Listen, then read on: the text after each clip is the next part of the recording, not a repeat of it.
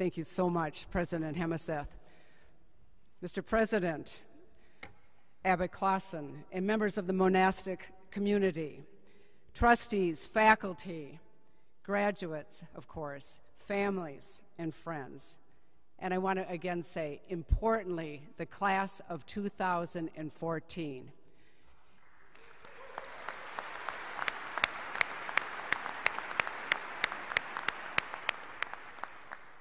It is a great honor to be here to celebrate your graduation.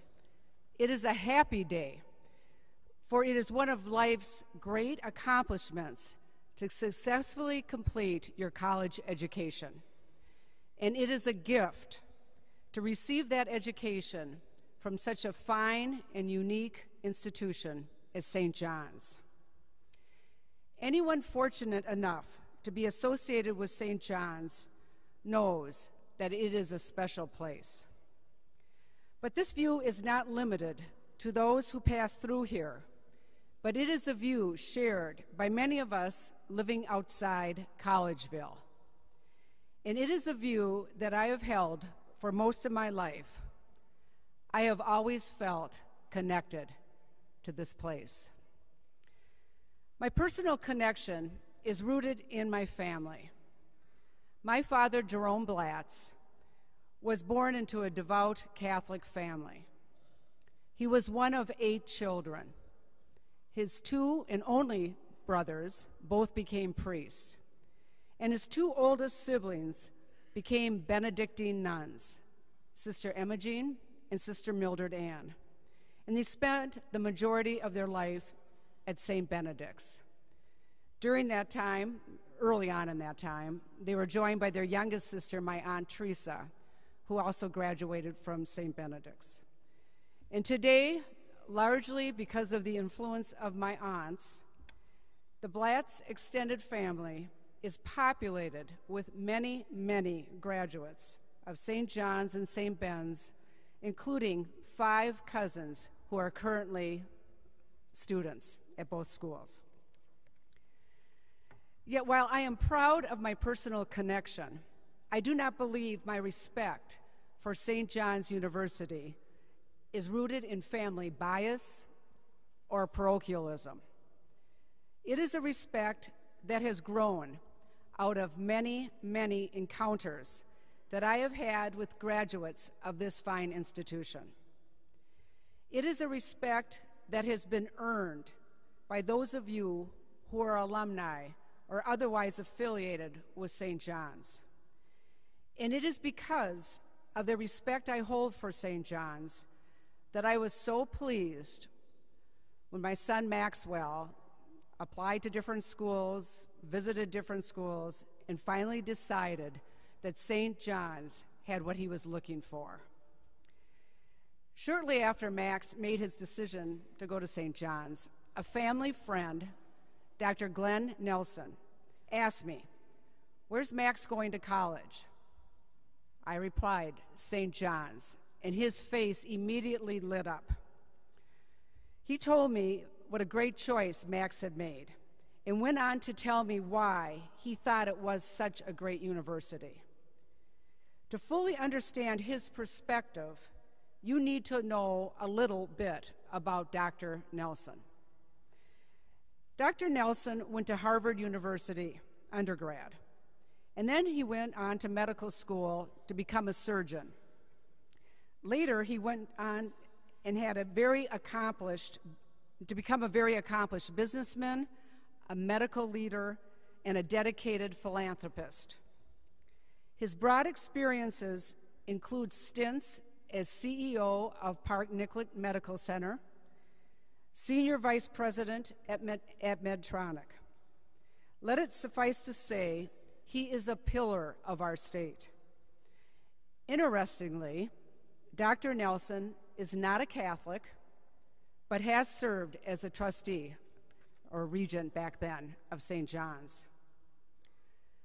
Dr. Nelson told me that he was deeply impressed by the St. John's community he shared that over the many years when he hired for positions, be it in the medical field, in business, or in philanthropy, he would receive stacks of applications. And when he went through them, he would pull out all the graduates of St. John's and to give them a second look. When I asked him why, he told me that it was his view that St. John's University offered an extra dimension of a community culture that was bled into the students. He believed, after spending four years at St. John's, the graduates were imbued with a certain spirit that gave them a deeper understanding of humanity and ethics, a quality that Dr. Nelson believed was often more important in life than intellect. Dr. Nelson's respect for St. John's was not born out of a family connection or religious affiliation. No, it was a respect and is a respect that is based on his personal interaction with many members of the St. John's community. For it is in these interactions that we on the outside observe firsthand how the Benedictine values are lived out. I share these ob- observations from Dr. Nelson with you today for two reasons. First, to recognize that you, graduates, are about to leave this very supportive St. John's community and fully return to the outside world. That transition poses challenges. And second, I share his observations with you to challenge you, the class of 2014, to ask yourself what does it mean to be a graduate of St. John's? How are you going to live a life that reflects the Benedictine values. First, let's talk about the transition. A recent cartoon in the Star Tribune quipped First, you get the college degree, and then you get the third degree. You know what the third degree sounds like. What are you going to do after graduation? Do you have a job? Where are you going to live? What are you going to do with the rest of your life? For some of you, you know the answers, at least some of them. For many of you, the answers are yet to come. It is true that the, a lot is expected of you. And we live in uncertain times. It's tough in the arena. 2014 looks a lot different than the year that I and, and many of your parents entered into the job market. That's a fact. For many of you, this time of uncertainty is, can be very unsettling.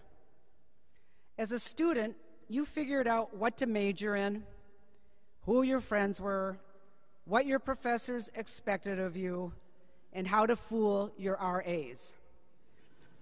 When you look ahead, all that certainty vanishes. It is the unknown. My advice to you embrace it. A year ago, I came across a writing by an unknown author who described this time of transition brilliantly. The writing was entitled The Flying Trapeze. The author likened the transition zone between the known and the unknown as the letting go space between letting go of one trapeze in order to grab hold of the next one. The author wrote Most of the time, I'm hanging on for dear life to my trapeze bar of the moment. For you, St. John's. It carries me along, and I have the feeling that I'm in control of my life. But in my heart of hearts, I know that for me to grow, I must release the grip on the present, well known bar to move to the new one. I have noticed that in our culture, this transition zone is looked upon as a nothing, a no place between places. Surely the old trapeze bar was real, and that new one coming towards me, I hope that's real too. But the void in between, That's a scary, confusing nowhere that must be gotten through as fast and as unconsciously as possible. What a waste. I have a sneaking suspicion that the transition zone is the only real thing, and that the bars are illusions we dream up to avoid where the real change, the real growth occurs for us. Whether or not my hunch is true, it remains that the transition zones in our lives are incredibly rich places. They should be honored, even savored. Even with all the pain and fear and feelings of being out of control that can accompany transitions, they are still the most alive, the most growth filled, most passionate, most expansive moments in our lives. The author concludes that we need to give ourselves permission to hang out in the transition between trapeze bars to allow ourselves to dwell in the only place that change really happens. While it can be terrifying, it can also be enlightening. Hurtling through the void, we just may learn how to fly. In my view, the author was right. Embrace this time of transition between St. John's and the what's next. In the end, the space between the trapeze bars will be as much a part of your life story as what you do when you are holding on. Which brings me to my second point.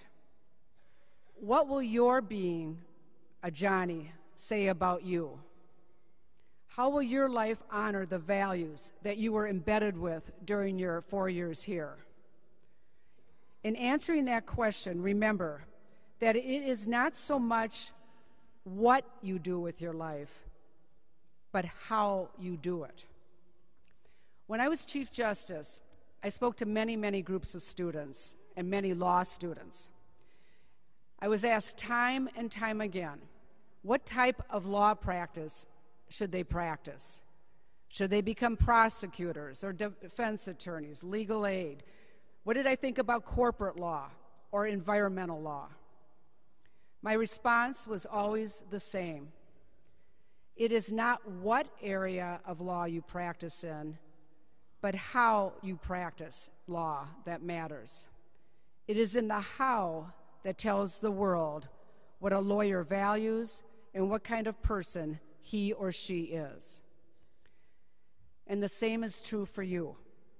It is not what specific vocation you pursue or job that you get that will matter the most. It is how you, as an individual, St. John's graduate, decides to live your life that will reflect what you value. Simply being a St. John's graduate is not itself sufficient. The reputation of St. John's and the respect that many others hold for you will be based on how you live your life. So, despite all of our questions, it's not what you do or where you do it that will matter in the end. And always remember that even though life ahead can be uncertain, you get to decide the most important part of your future the how. But for now, on this graduation day, we celebrate how far all of you have come. You should be very proud of what you have accomplished. I know that your parents and families are. And let's be honest, some of your family members may even be relieved. I know that Max's two older brothers would fall into that category. While his father and I have always thought Max was a wonderful son, and he is. His older brothers have not always agreed. One day, some years ago, thank goodness, when I came from home from work, I was greeted at the door by, I have three sons, by my two older sons. Hunter, the oldest, was then 12, and Carter was 10. And they were very, very upset with their six year old brother. And I listened to their story as a good judge would, and then wanted to get the other side from the sitter. And she told me that, you know, the, bo- the older brothers had been b- basically just terrorizing him, Max, all day. But Max had pulled a butter knife on them. now, given that it was a knife, a butter knife, I decided that Max needed to be punished regardless of what his older brothers had done to him. I wanted to draw a line in the sand about weapons in the house. So I thought, what could I do? So I meted out the most severe punishment that really you could ever do in, in my household. I thought about it. And so I told Max, Max, you are grounded from WWE and all fake wrestling for two weeks on TV. Now, with the maturity that I have now as a parent, that might have something to do with the butter knife that I was letting him watch it in the first place. But anyway, it was a very severe punishment, trust me. And Max was sobbing, he was devastated. But his older brothers thought it was a, just forget it. What a weak punishment. They went storming out of the room. And my middle son, Carter, he loves to write about his feelings and everything. And so he went off and he returned in about a half hour and he brought me a letter. It's real, it's true. This is a true story. And I will read it to you. Mom, there's no dears or loves in this, it's just straight. It's just, Mom, Max has become a big brat. And you should either punish him, and then he puts in parens, give him a real punishment. Visit a psychiatrist. or let him be this way. Right now, the way you're punishing him is pathetic or kind of easygoing. I'd put him in his room for a night to let him think of what he's done, ground him from wrestling, and if it happens again, punish him more severe. Remember, this is just opinion and suggestions, so Max isn't in prison for a decade when he gets older. then in underline, he underlines, the choice is yours completely. Carter. So we are grateful, Maxwell, that you are not in prison today and that you are here and we are all celebrating. And I join all the parents, family members, and everybody on stage behind me to celebrate this wonderful day. And we are so grateful to St. John's for all that it has offered and that all that it has done for all of you. I congratulate each and every one of you, and I wish you the best as you let go of the St. Tra- John's Trapeze Bar and fly to the next bar. And I am not talking about sales or the law. Enjoy the transition, live out your values that support the greater good, and never forget that you are a part of a community that loves you and celebrates you. Congratulations, class of 2014.